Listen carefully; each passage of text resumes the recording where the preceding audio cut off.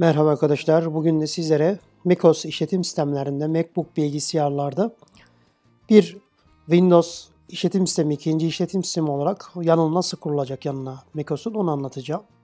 Elimizde bir macOS bilgisayar kurulu bir MacBook Pro cihazımız var. Burada macOS'un en son sürümü olan macOS'un Monterey yazan sürümü yüklü Monterey sürümünün yanına biz Windows 10 ISO'su indirip Windows 10'un yanına yüklemeyi düşünüyoruz. Değerli arkadaşlar bunun için size ihtiyaç olan şey bir Windows 10 ISO dosyası. Windows 10'un kalıp dosyası. Ne yapıyoruz? Hemen ilk olarak Google'u açıyoruz. Windows 10 download yazdığımızda şu site, ilk site Microsoft.com'daki indirme ekranı olan şu siteye geliyoruz. Burada hemen aşağıya geldiğimizde sürüm seçin yazan yerde sadece Windows 10 zaten. Onayla dediğinizde Windows 10'un hangi dili olması gerektiğini soruyor size. Hangi dili tercih edecekseniz onu seçip onayla dediğinizde 32 bit veya 64 bit hangisini istiyoruz? Tabii ki 64 biti indireceksiniz değerli arkadaşlar. Bu anlattığım Intel'in i5 e, serisi bir MacBook Pro cihazında yapılıyor şu anda. 64 bit ISO dosyasını indirim. Boyutu biraz yüksek olabilir. Ben indirdim şöyle görmüş olduğunuz gibi Windows 10'un son güncel 64 bit ISO nokta ISO bakın görüyor musunuz? Bu dosyamı indirdim. Masa üstüme koydum. Daha sonra geliyorum Launchpad'e. Launchpad'de yazacağım kelime şu. Boot Camp yazdığınızda şuradaki Bootcamp yardımcısı diye bir program var.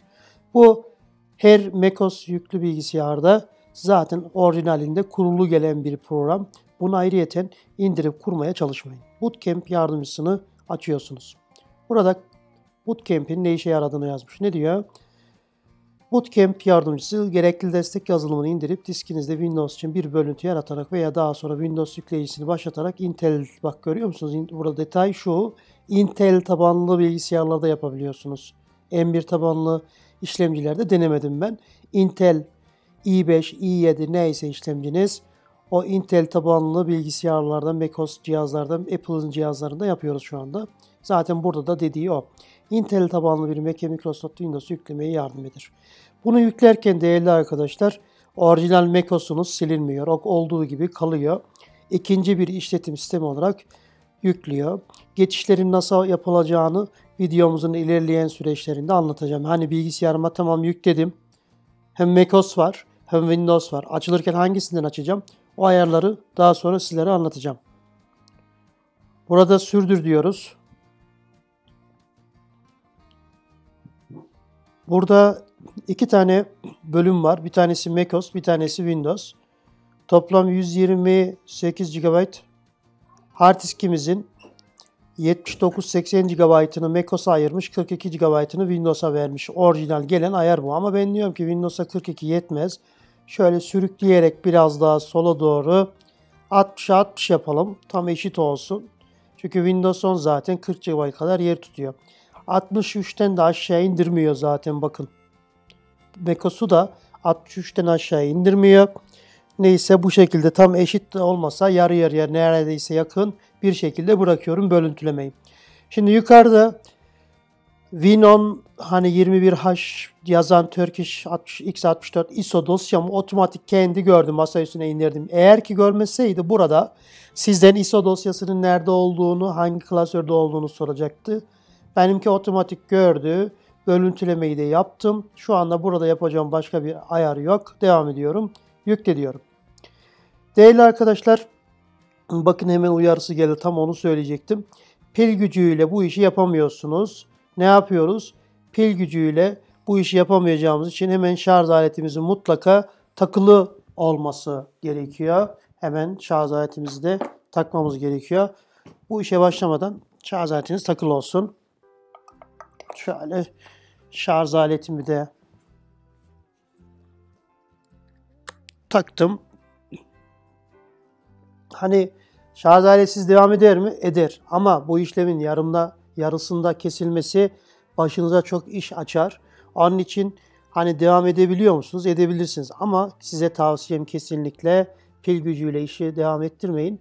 Mutlaka şarj aletiniz takılı olsun. Şarj aletimizi taktık. Uyarıyı göz ardı edebiliriz artık. Şimdi Windows'un kendi sitesinden destek yazılımı indirme ekranı. Değerli arkadaşlar bu ekran ikinci aşamaya geçtiğimizin resmidir. Şu anda Windows kurduktan sonra Windows tarafına Mac'in bütün programlarının e, yüklenmesi, sürücülerinin yüklenmesi için gerekli olan yazılımları indiriyor. İnternet hızınıza bağlı olarak biraz bu uzun sürebilir. Bunu da bekledikten sonra indirsin. Daha sonra videomuza kaldığımız yerden devam edelim. Yükleniyor yazan ekrana geçti. İndirme dosyaları bittikten sonra bölüntüleme yerine geçiyor. Zaten burada da size uyarıyor. Ee, birkaç saat sürebilir diyor ama o kadar sürmez tahminim. İndirme hızınız ne kadar iyi ise bundan önceki ekranda o kadar hızlı geçiyorsunuz. Burada da bilgisayarınızın hızınıza bağlı, bilgisayarınızın hızına bağlı olarak biraz bekletebiliyor size. Bu ekrandan hemen sonra otomatik olarak cihaz kapanıp Windows kurulumuna geçebilir. Evet, bölüntüleme de şu anda seri bir şekilde devam ediyor. Şimdi de indirdiğimiz ISO dosyalarının kopyalanma sürecine geçti. Evet arkadaşlar az önceki ekranımdan sonra otomatik olarak Windows kurulum ekranı geldi. O ikinci ve üçüncü ekrandan sonra karşınıza bu kurulum ekranı gelecek. Artık burada da klasik Windows kurulumu yapmanız gerekiyor. Ne yapıyoruz bunu? Şöyle biraz yaklaştırırsam size. Şuradan Windows'un hangi sürümü yükleyecekseniz onları seçip yüklemesini yapın. Oraları biliyorsunuz.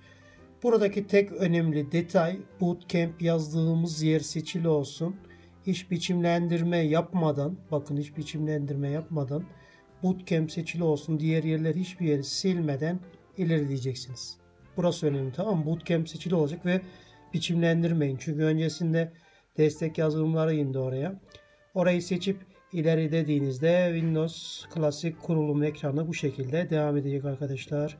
macOS bilgisayarım şu anda Windows kurulum ekranında ilerliyor. Evet arkadaşlar kurulum Windows kurulumu bitti. Şimdi Windows'un ilk kurulu hali geldi karşımıza.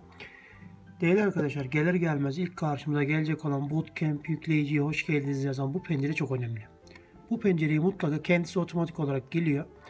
Sonraki sonraki sözleşmeleri kabul ederekten bütün kurulumlarını otomatik olarak yapmasını sağlıyorsunuz. Bu macOS'un bütün sürücülerinin bu cihazın yani MacBook bilgisayarınızın uygun olan cihazın bu sürücülerini alıyor. Windows'a uygun bir şekilde yüklüyor. Buradan yükleyemezseniz çok uğraştırır sizi driverlar sürücüler. Bunun mutlaka yüklenmesini beklemeniz ve yüklenmesini yapması gerekiyor. Yüklemeniz gerekiyor. Bunu bekleyelim. Bu aşamayı da bekleyelim. Daha sonra kaldığımız yerden yine devam edelim.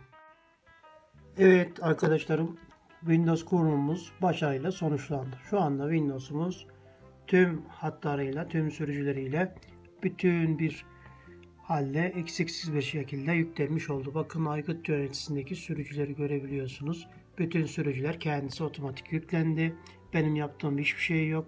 Windows'um yüklendi. Şu anda Windows'um kullanıma hazır.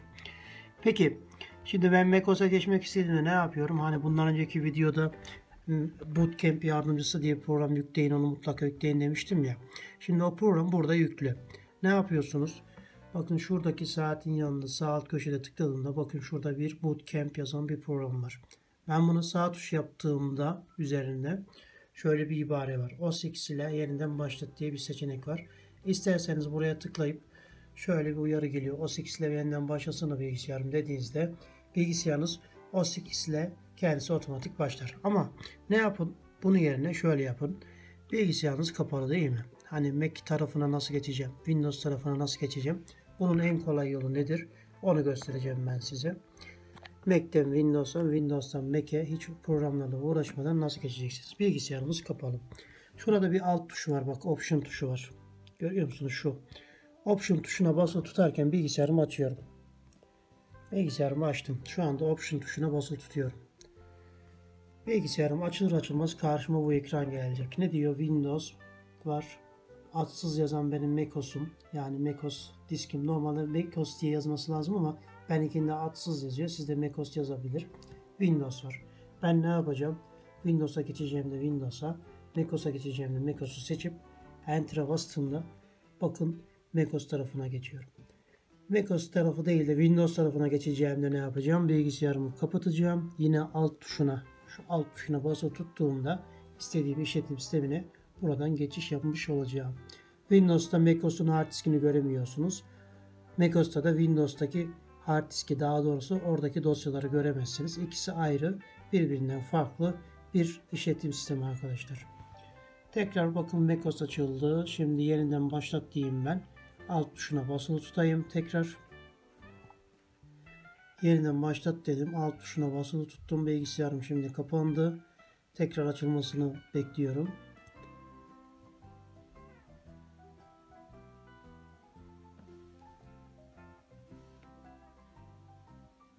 Yine bu ekran geldi. Buradan da artık Windows'u aç diyorum. Bakın direkt Windows'a geçiyor. Gördüğünüz gibi geçişte bu kadar kolay değerli arkadaşlar. Bu şekilde yaparaktan macOS yüklü bilgisayarınızda Windows kurup kullanabilirsiniz. Önemli detay neydi? Intel işlemcili bilgisayarlara kuruyorsunuz. Bir, e, Windows 10 kuracaksınız. Bu son sistem macOS'lara. 2. Üçüncü özellikle neydi? Bu Bootcamp yardımcısı dediğimiz program var ya onun mutlaka kurulu olması gerekiyor. Onu siz kurmuyorsunuz. macOS tarafında yaparken otomatik kuruluyor. Oraları iptal etmeyin. Biçimlendirme yapmayın diski kurarken. Otomatik Windows tarafı açıldığında karşınıza o kurulum Bootcamp kurulum yardımcısı ekranı gelecek. Onu da mutlaka kuruyoruz. Böylelikle driverlarımız, sürücülerimiz de eksiksiz bu bilgisayar kurulmuş oldu değerli arkadaşlarım. Hepinize kolaylıklar diliyorum. Kolay gelsin.